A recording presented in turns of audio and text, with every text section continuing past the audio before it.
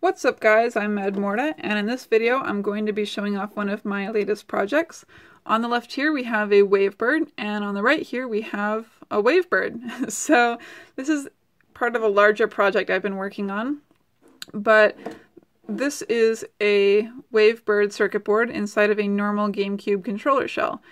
And this does differ from a standard wavebird in a few ways. For starters, the start button is a clicky switch, like the Z button, sort of, except that it's a little bit louder. The original one had a lower start button, so I had to relocate it with a tact switch, and the squishy tact switches were too tall. I'm personally okay with it, but I know it would bother some of you. Also, it does not have a channel switch, which again I'm personally okay with because I don't think I've ever been in a room with more than two other wavebirds being used at any given time, so it's not like I'm fighting over the channels. This one defaults to channel 3, but you could have made it lucky number 7 or whatever you wanted. And there was room to put the switch down here, but given how my drilling holes went for my battery, I'm going to say it was a good idea not to drill a hole for that. So this also has an internal rechargeable battery pack because obviously putting double A's in here would be kind of a pain, even if you only have to do it once every few months. So, sorry, this is a PowerA 2.4 volt battery pack for the Xbox One controller.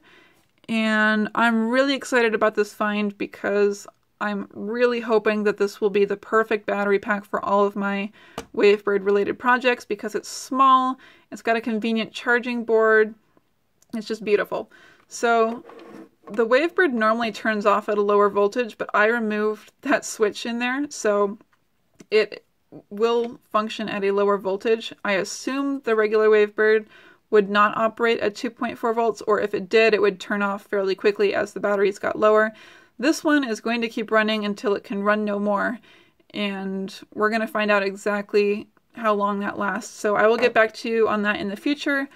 It may be a long time depending, because I know that the Wavebird lasts a really long time on batteries, and this is kind of a large battery for the Wavebird. So here is the power switch for the Wavebird, because obviously you don't want it on all the time, because it lasts only like a week. and the the face didn't really have a place to put it. So that is really all the differences between this and a standard Wavebird. Everything feels exactly like it should, which is extremely uncommon for my projects. I'm really picky about my controllers, especially my GameCube controllers, because they're my favorite. And it feels like like if this had a wire coming out of it, I would not know that it was modified. That's how perfect it is. The Wavebird circuit board just fits in there. You do have to trim it and re relocate a few things. I had to modify the shell in a couple little places. One of them was down here for the for the batteries, and then a couple little places up in here. But really, it it's almost an exact fit. So this is a Wavebird circuit board, so you can see kind of what I had to do to fit it in there.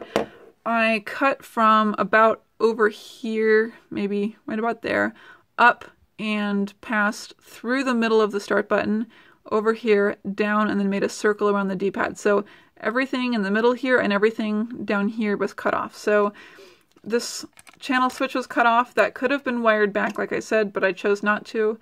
It is on channel 3 because that's what happens if you don't tell it to do a different channel, but you could pick a different channel. The switch, obviously I'm using a different switch with a different method for batteries.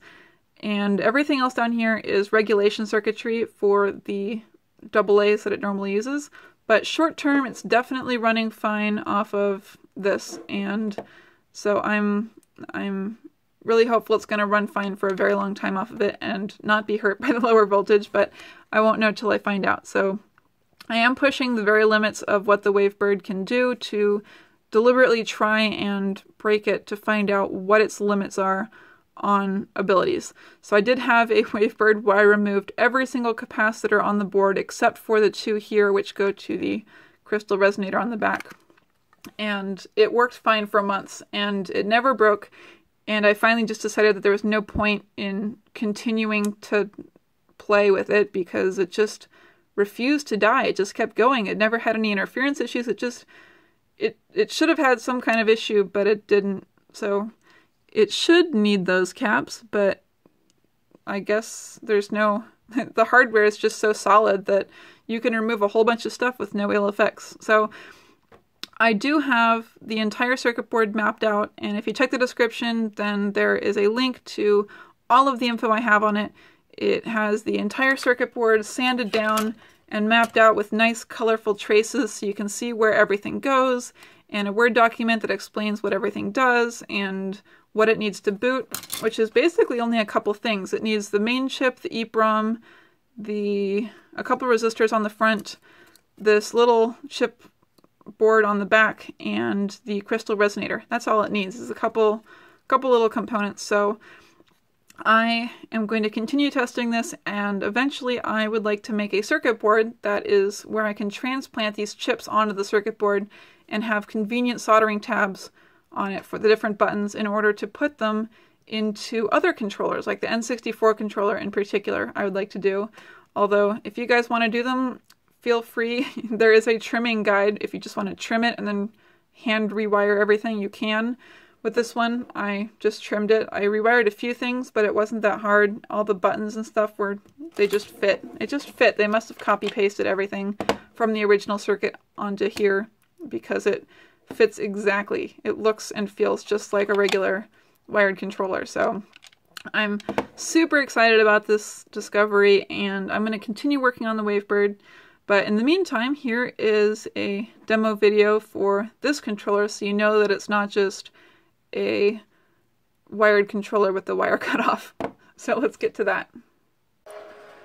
Okay, so here we've got Smash Bros. Brawl, which is just about all I've got on me, so that's what I'm going to be using to test, and I'll try to get it to focus a bit better.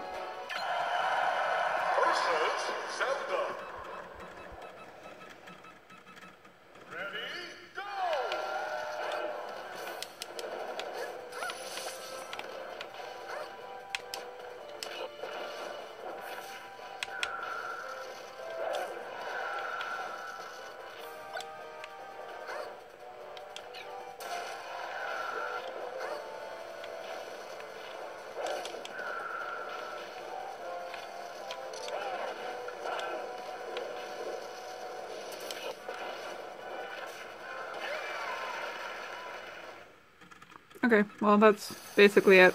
So it is a fully functional Wavebird, and it has a rechargeable battery pack. So I hope you enjoyed this video, and I hope you subscribe to see more projects like this. Thanks guys!